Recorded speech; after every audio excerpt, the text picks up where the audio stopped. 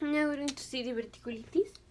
Diverticulitis is the infection or inflammation of a diverticula. So here we have the colon.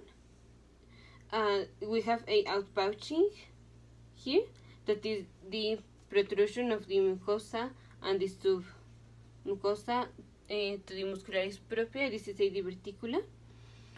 Um, a lot of diverticula is called diverticul diverticulosis and when there is inflammation of this usually due to a infection because of obstruction here let's say that a fecalith is locked here then there would be inflammation here due to infection. So this would be diverticulitis when there is infection due to or secondary to obstruction of the diverticula. The patient would present and because this usually arises on the the diverticula usually is on the left um, colon the patient would present with the left lower quadrant pain.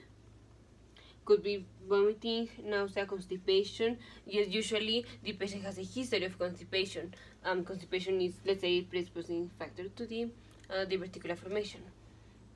The patient sometimes can can come with the perforation signs like guarding or guard, uh, yes, the guarding, warning, etc. Because the this diverticula can rupture, this infected diverticula can rupture, and so there is peritonitis.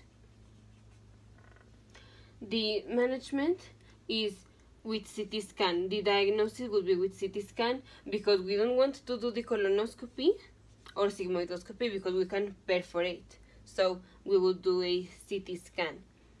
Uh, and in the CT scan, we could see just the inflammation or we could see abscess and depending on the size of the abscess this should be drained uh, either interventional or surgical depending on the size besides the antibiotics the antibiotics uh, need to cover anaerobic um, bacteria this includes E. coli, Bacteroides, Enterobacter, Klebsiella, um, Enterococcus.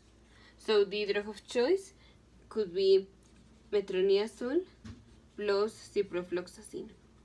Alternatives include piperacillin, tazobactam, um, ticarcillin, clavulanate, and for mild disease, we give amoxicillin plus clavulanate or clavulanic acid.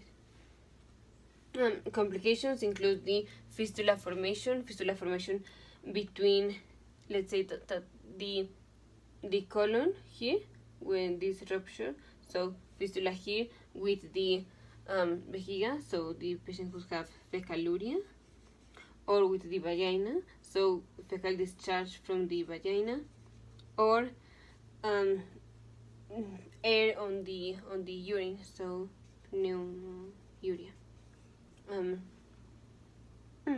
the fistula is a complication of this rupture of the diverticula. Um, other complications could include strictures, etc.